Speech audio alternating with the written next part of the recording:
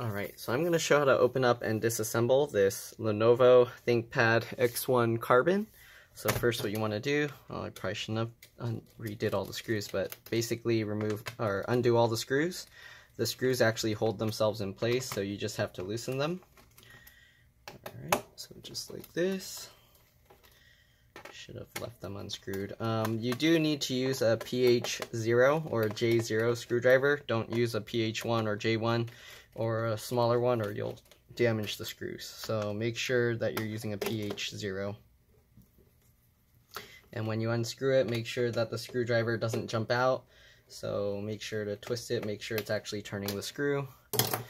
Alright, once you undo all those screws, um, you can get your fingernail or a pry tool in the gap between the two layers, and then you can lift it up. The whole thing should come up like this at an angle, and then you can pop it out. If it doesn't pop out, um, what you can do is while you're lifting it, um, pull this way and then pry underneath and you can pop out these clips on the bottom. These bottom clips are kind of more difficult to remove. Alright, once you do that, um, then you gotta remove this plastic piece here covering the battery connector. Just lift it up. And then at the front, uh, you want to use your fingernail, not a pry tool, because it's going to be difficult to feel. If you don't have fingernails, just wait till they grow out, or I guess you can try using a pry tool, but be very careful. You want to pry just the front of the battery connector. So just pop it like that. Once you pop it out, you can slide the battery connector up this way forward, and then the whole connector will come out, all right? After that, I like to slide this plastic over it so the battery doesn't connect itself. Um, after you do that, open it slowly because now you have one less screw holding each hinge. Um, and then just hold the power button for about 15 to 20 seconds just to make sure the power is released, um, especially if you're going to deal with the um, LCD cables. Okay, so after you hold the power button, um, then you can see here, there's a speaker connector here. To remove that, you just grab the two uh, wings with your fingers and then just wiggle it while you pull and it'll pop out. Just keep wiggling it. If it doesn't come out, um, it'll eventually come out. Just keep wiggling it. Okay, um, I don't want to remove all these stuff because they threaded the the battery around it and I just need to check the screen for this customer. So I'm not going to remove everything, but I'll kind of show you what's going on here. Um, let's see if I can figure out. Okay, so the board is actually all one piece. Um, they have like these pieces extending out. It's kind of weird. They cut little holes in the board.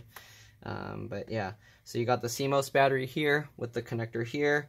Got the keyboard here. Um, this looks like the uh, keyboard backlight. To remove these cables, you just flip up these little latches and you can pull the cable out. Um, I believe this is the trackpad connector. Um, let's see here. So I think one of this is the fingerprint fingerprint sensor. I'm not sure what the other one.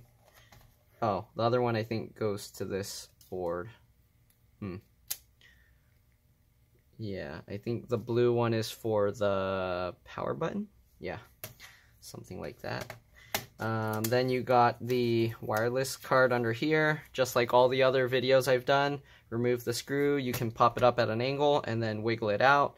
Um, I don't see removable RAM. This might actually be the RAM or video memory. Um, I don't want to peel all this stuff out since I don't need to take it out, but the wireless antennas, you just go near the tail and then you can pop it up. To put it back, you just line it up and push it straight down. Um, this looks to be an M.2 SATA SSD. I don't know if it supports M.2 PCIe NVMe, um, but yeah, so you got that. Alright, plastic over there. Then you got some more wireless antennas for, um, I believe there's a mobile broadband, that's what the SIM card slot is for. Um, then you got the fan here. The fan has uh, this solid flat connector. So just like all the other ones, lift the latch up and you can pull it out. Then you got the um, stuff for the the screen and the LCD and the um, webcam. So I'm not sure which is which. They're not labeled, but um, yeah. 30 pin. I think this is for the LCD connector. But that's all there is to this um, board. The CPU is soldered in, of course. Um, but yeah, that's all there is to this computer. Um, if you wanted to remove the battery, it looks like they put the mounts underneath the speakers, so you'll have to take out the speakers and then you can lift out the battery. Um, but yeah, there's two screws holding that.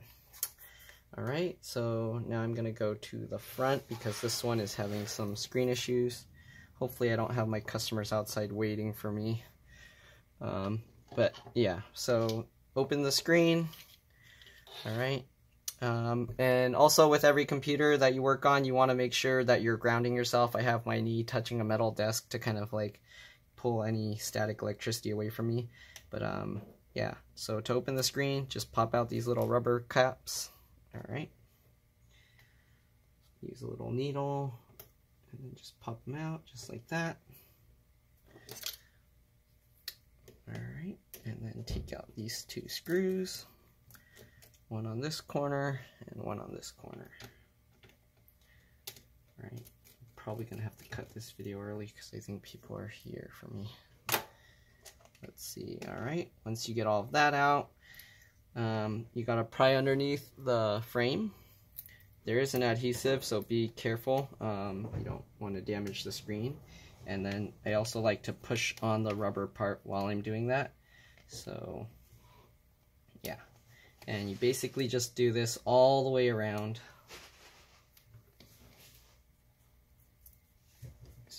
that noise outside. Yeah, I might have a customer outside. But um, yeah, basically you have to pry all of this out. Um, shoot. I think I made another video of this recently. But um, yeah, this one's going to be tough with the adhesive. So I don't want to rush it, but let's see here. Okay, so it's all coming out. And again, around the edges, you want to push it towards the inside while you're pulling it out, and that'll undo the clips. So here you can see as I push it down and then pull it out, yeah, you can pop it out just like that. All right, there we go and you basically just do this all the way around. The only problem with this is they have this adhesive in here, so I don't know if you can even see it, but yeah, that adhesive's going to be a problem. Oh, I hope the LCD isn't damaged. It's a very thin LCD. So,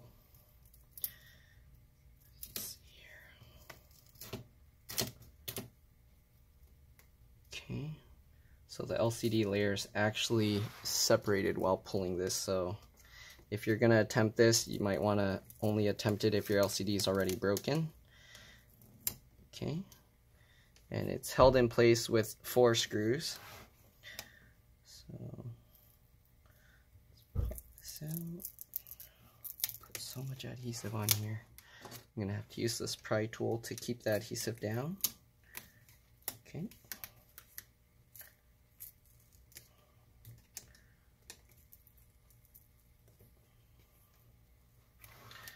Alright, and just keep going.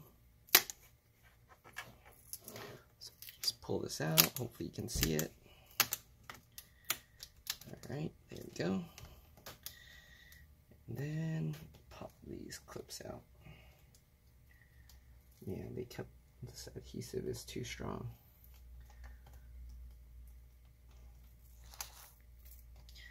Yeah, so if you work on this, make sure when you're working on it that your screen's already broken because there's a good chance you might damage the screen trying to take this out. Peeling all the adhesive up. Okay, there we go. This adhesive back on.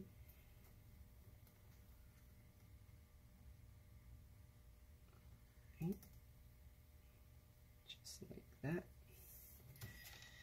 Alright, and then you want to go towards the bottom as well. Let's see if there's clips here that need to be removed. There are clips on this side too, so you will have to go from the bottom as well. And then just slide your fingernail or pry tool along the bottom and pop it out just like that. Okay, once you do that, you should be able to pull this whole thing up. Just be careful with the adhesive. And then this whole piece will come out just like that. Okay, so this adhesive is being a pain. And that's pretty much it. Um, you can take the screws out. So let's see here. Let's remove these four screws. And I'm going to have to end the video there because someone's at my door. Okay.